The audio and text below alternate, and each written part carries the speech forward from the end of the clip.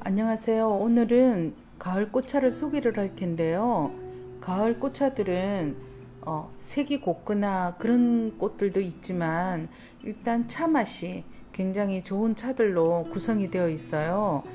어, 왜 그러냐면 꽃잎들이 두껍거나 그런 특징들이 있고요. 단맛들이 많은 꽃들이 많습니다. 가을 하면 국화들이 국화류가 굉장히 생각이 많이 나실 텐데요.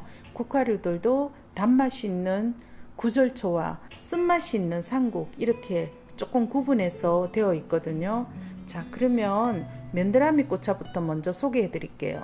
맨드라미 꽃은 여성들이라면 누구나 마시면 좋다고 이렇게 많이 알려져 있고요. 차로 이렇게 드실 때에 자궁이나 월경 과다 생리 완화, 그 다음에 다이어트에 도움이 되는 꽃입니다.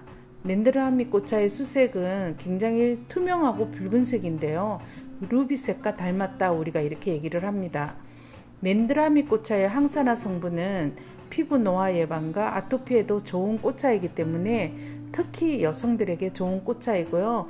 제가 수업을 할 때 이 맨드라미 꽃차는 어, 여성이라면 누구나 마지막 잔을 마시면 좋다 이렇게 제가 소개를 하고 있습니다. 그 정도로 이 맨드라미 꽃차는 굉장히 여성들과 밀접한 관계가 있는 꽃이거든요. 벼슬을 닭벼슬 부분만 우리가 잘라서 하잖아요. 그 시방 부분까지 하는 게 아닙니다. 그래서 보시면 찢어서 하다 보니까 굉장히 나중에 다간에서 보면 꽃잎이 하나씩 떠 있는 듯한 그런 느낌이 듭니다. 그리고 아마란스 꽃차는 수퍼 곡물로 우리가 굉장히 많이 알려져 있고요. 당뇨와 고혈압에 좋은 꽃차로 이렇게 많이 알려져 있습니다. 아마란스 꽃은 우리가 이제 긴 줄기에서 꽃을 잘게 잘라서 이렇게 사용하기도 하고요. 조금 길게 잘라서 하기도 하죠. 근데 찬물이 이것도 이 꽃도 역시 굉장히 붉고 예쁜 색입니다. 그리고 이 아마란스 꽃에 들어있는 스칼렌 성분은 활성산소를 제거하고 콜레스테롤을 낮춰주는 그런 역할을 하기 때문에 어, 이 아마란스 꽃차 같은 경우에는 다이어트에도 굉장히 도움이 된다 이렇게 알고 계시면 될 것 같아요. 아마란스 꽃의 그 붉은색도 굉장히 이쁘지만 신이 내린 선물이라고 불릴 만큼 건강에 남녀노소 누구에게나 굉장히 좋은 그런 효능을 가지고 있습니다. 작두콩차가 있는데요. 작두콩차 같은 경우에는 비염에 좋다고 이렇게 많이 알려져 있어요. 그런데 정말 작두콩처럼 아주 크고 거대한 콩으로 이렇게 만들 수가 있죠. 그죠? 어, 그리고 풋콩도 좋지만 썰기에는 풋콩이 좋은데 사실 그 속에 콩이 조금 여물어서 들어있는 걸 가지고 하면 더 차로 우렸을 때 구수한 맛도 있고 단맛도 훨씬 더 좋기 때문에 조금 어느 정도 성장한 작두콩을 가지고 어, 차로 덖으시면 좋을 것 같아요. 그리고 가을철이나 이렇게 계절이 바뀔 때 비염으로 고생을 많이 하시잖아요. 그럴 때에 비염에 특효가 있다 이렇게 할 정도로 좋은 작두콩차입니다.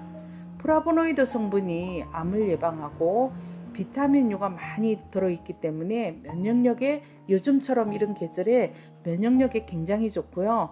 비타민 A 성분이 들어있어서 눈 건강에도 굉장히 좋은 것으로 이렇게 알려져 있습니다. 그리고 기관지 천식이나 항암에도 굉장히 좋기 때문에 어, 도움을 받을 수 있는 차이거든요. 그래서 같이 이렇게 활용해서 드시면 좋겠어요. 쑥꽃차가 있는데요. 많은 분들이 쑥은 알고 계세요. 그런데 쑥꽃차는 잘 몰라요. 왜 그러냐면 쑥이 그 꽃, 그 쑥 겨드랑이 밑에 이렇게 조그맣게 피고요. 또 살짝 붉은빛을 띠고 있는데 그거는 활짝 핀 꽃이에요. 근데 우리가 피, 사용하는 꽃은 조금 이렇게 꽃이 올라와서 조금 덜 핀 그런 꽃으로 우리가 꽃차를 하는 거고요. 동의보감에 보면 어, 여성들에게 굉장히 좋은 차로 알려져 있습니다. 그리고 손발이 찬 냉정, 수족 냉정이라 그러죠. 그런 사람들에게 굉장히 좋은 꽃이고요. 면역력을 높여주고 혈액순환을 좋게 하면서 몸을 따뜻하게 해주는 그런 역할을 해요. 그렇기 때문에 요즘같이 이렇게 약간 쌀쌀해지기 시작할 때에 드시면 추위도 덜 타고 굉장히 좋다는 거 알고 계시면 좋을 것 같아요. 그 다음에 가을, 가을 꽃차 중에 코스모스 꽃차가 있는데요. 코스모스 꽃차 하면 우리가 메리골드와 똑같이 눈의 피로와 충혈에 굉장히 좋은 꽃차다 이렇게 임상 실험에 이렇게 나와 있습니다. 그래서 우리가 가장 많이 생, 가을 하면 생각나는 게 무슨 꽃인가요? 네, 코스모스와 구절초, 뭐 국화 생각이 많이 나시지만 그 중에서도 코스모스 꽃이 가장 생각이 많이 나죠. 코스모스 꽃차는 열을 내려주고요. 부종이나 종기를 다스리는 데 도움이 되는 꽃차입니다. 그리고 칼슘 흡수를 도와서 성장기 아이들에게도 굉장히 도움이 되고요. 어, 몸에 독소를 제거하거나 또 칼슘 흡수를 도와주는 그런 역할을 한다는 거 알고 계시면 좋겠죠. 엉겅키 하면 5월에 피는 육지에서 피는 엉겅키를 많이 생각하고 계시는데요. 어, 제가 소개, 오늘 소개해 드리는 꽃은 제주 엉겅키 꽃이에요. 그래서 약성으로 보면 제주 엉겅키가 조금 더 낫다 이렇게 알려져 있습니다. 그리고 이 제주 엉겅키 꽃에는 실리마린이라는 성분이 함유되어 있어서 간 기능 개선이라든지 어, 또 간을 보호하는 그런 역할을 하고요. 또 몸을 해독하고 독소를 제거해서 굉장히 좋은 약성을 가진 차입니다. 혈액순환과 어혈을 풀어주고 또 당뇨, 관절염, 경련기 장애, 또 신경통에 그리고 위염에도 굉장히 효능이 있어서 엉겅퀴는 한때 육지에 있는 엉겅퀴를 볼 수가 없었을 정도로 그럴 때가 있었어요. 그게 간에 굉장히 좋다고 이렇게 알려져 있어서 전초를 뽑아서 뭐 효소를 담그신다든지 청을 담그신다든지 이런 거를 하기 위해서 정말 씨를 말린다고 하죠. 그, 그 정도로 이게 약성이 좋았다는 거 알고 계시면 될 것 같아요. 자, 녹차나무 꽃인데요. 녹차나무는 초겨울이죠. 살짝. 예, 요즘에 지금 한참 녹차나무 꽃이 피고 있습니다. 녹차나무는 특이하게 시라상봉수라고 해서 씨앗과 어, 열매, 씨앗과 꽃이 같이 만난다고 해서 시라상봉수라고 이렇게 얘기를 하는데요.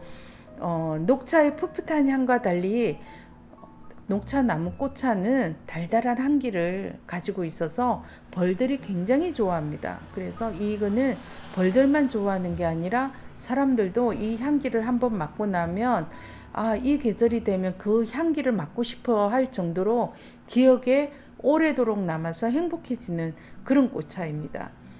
그리고 녹차 나무 꽃차는 성질이 서늘하고요. 그렇기 때문에 두통과 정신을 맑게 합니다. 옛날에 스님들이나 공부를 하시는 분들은 이 녹차나무 꽃이 아니라 녹차 를 굉장히 많이 마셨는데요. 나무에 있는 녹차 잎에 있는 그 성분이 이 녹차 나무 꽃차에도 함께 들어있기 때문에 꽃차로 드시면 또 다른 색다른 맛을 느낄 수가 있을 거예요. 그리고 이뇨작용과 피로회복에 좋고요. 갈증을 없애고 어, 소화를 돕는 그런 효능이 있습니다. 그리고 혈압이나 당뇨를 개선해주는 그런 역할도 하기 때문에 드시면 어, 굉장히 이렇게 어, 머리가 맑아지고 당뇨 개선에도 도움이 된다는 거 알고 계시면 좋겠죠. 자, 그리고 구절초 꽃차인데요. 구절초 꽃은 많은 분들이 알고 있고요. 이제 보통은 정제를 해서 이렇게 아니면 데침을 해서 그늘에 말려서 차로 드시는데요. 예, 그 방법도 좋아요. 그런데 저희는 이렇게 덕금을 하거든요.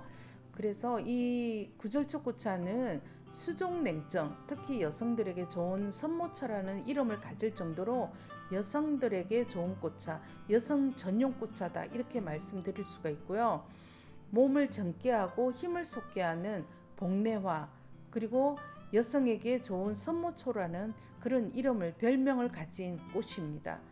후두염이나 인후염, 기침, 감기 예방에 굉장히 좋은 차로 알려져 있고요.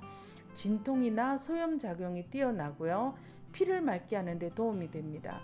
그리고 호흡기 질환이라든지 탈모, 불임증 예방에도 좋은데 이것은 몸을 따뜻하게 해주는 그런 성질을 가졌기 때문에 불임증 환자에게도 굉장히 좋다 이렇게 알고 계시면 될 것 같아요. 자, 그 다음에 뚱딴지 꽃차. 우리가 흔히 돼지 감자라고 하는 그 돼지 감자 꽃이에요.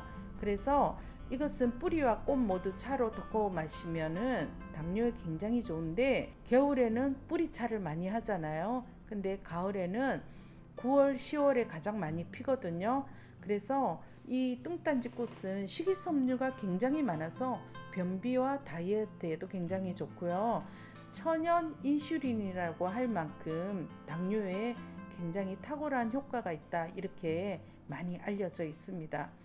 그리고 섬유질이 많기 때문에 다이어트에도 굉장히 좋고요. 특히 어, 나이가 들어서 골다공증이 많이 생기잖아요. 그럴 때 골다공증에도 굉장히 좋은 차로 알려져 있습니다. 어, 돼지감자 꽃은 꽃만 하는 게 아니라 그 어린 잎일 때 나물로 해서 드셔도 좋고요. 차로 어린 잎을 가지고 차로 덮어서 드셔도 굉장히 효능을 볼 수 있다. 이렇게 알려져 있습니다. 자, 오늘 이렇게 가을에 피는 가을 꽃차를 소개를 해드렸는데요. 어떠세요? 정말 제가 항상 계절마다 느끼는 거지만 그 계절에 나오는 이런 그 야채나 채소를 먹어도 좋다고 얘기를 하는데요. 어, 이 꽃차도 마찬가지예요. 이 계절에 나오는 꽃들을 보면 다 몸을 따뜻하게 하고 냉기를 몰아내고 그 다음에 여성들에게 아랫배를 따뜻하게 해서 불임증에도 굉장히 좋고 그리고 또 녹차나무 같은 경우에는 머리를 맑게 하고 그런 효능들이 있잖아요. 그래서 이 가을에 마시면 정말 몸을 면역력을 키워줄 수 있는 그런 꽃들이 이 가을 꽃차라고 생각이 듭니다. 자, 어떻게 잘 보셨어요? 자, 보시고 좋아요, 댓글 부탁합니다. 감사합니다.